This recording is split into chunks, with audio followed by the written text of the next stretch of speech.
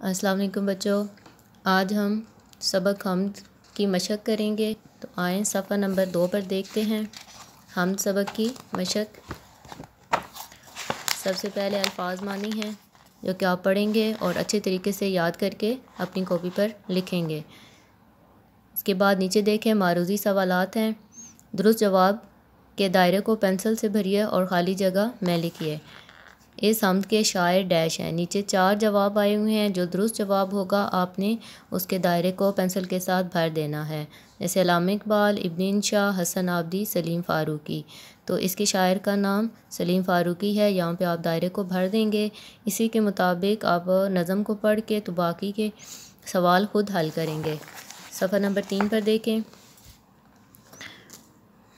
سب سے پہلے دال ڈال زال۔ جب الفاظ کے آخر میں آئیں تو ان کی شکل رے کی طرح ہو جاتی ہے، جیسے حمد۔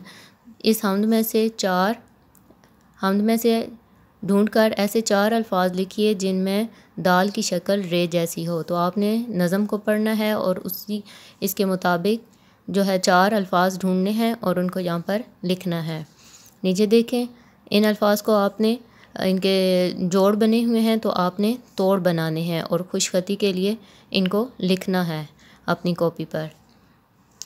نیچے سوال جواب ہیں، حمد کسے کہتے ہیں؟ ایسی نظم جس میں اللہ تعالیٰ کی تعریف کی جائے، اسے حمد کہتے ہیں۔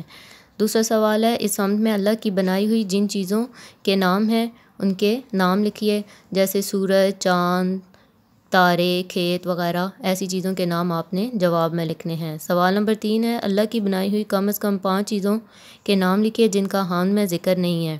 تو ایسی پانچ چیزوں کے نام جن کا حمد میں ذکر نہیں کیا گیا، جیسے ہوا، پانی، زمین، آسمان، جانور وغیرہ، آپ خود سے بھی یہ لکھ سکتے ہیں۔